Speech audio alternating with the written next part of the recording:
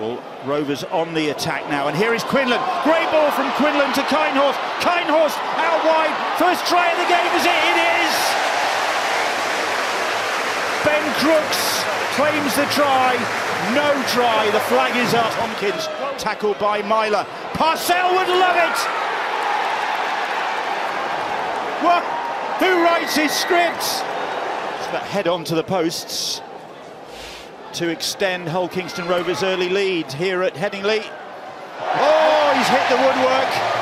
The ball's still alive, and it's going to come back to Hull Kingston Rovers in the end, and it's McGuire who gets a hold of it. Rovers missing with two kicks.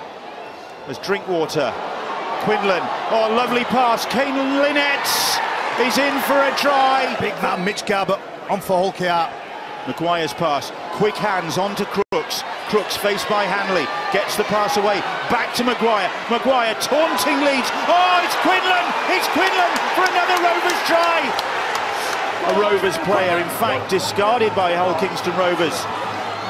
Dwyer, Dwyer trying to spot the Leeds come back, and he has done that.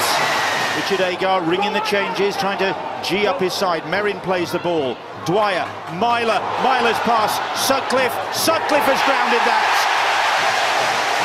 Rovers ahead 16-8 and Rovers with the possession at the start of this second half and Rovers with the first try of the second half from Harvey Livett to do the tackling for the Rhinos. Here is McGuire. McGuire little kick. Linnett gets a second. They could be penalised here, they're not. Lui pass, they are in, it's Konrad Hurrell and Hurrell gets the try.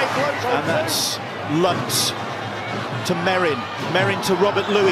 Lui, lovely pass for Rhyse Martin, and Martin. Going short to the left-hand side here. Martin's restart. Oh, beautifully claimed by Ben Crooks. And here is Hall, and now they could close it out. Here is Atkin. Back to Hall, and that's it. That's the win for Hull Kingston Rovers.